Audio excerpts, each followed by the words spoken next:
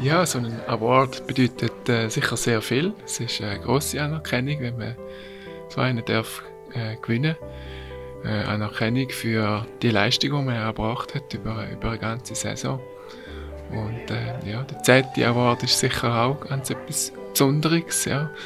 Dass man schon so viele ähm, Awards dürfen entgegennehmen das ist äh, ja, nicht selbstverständlich. Und der zweite ist, ja, ist eine schöne, schöne Zahl.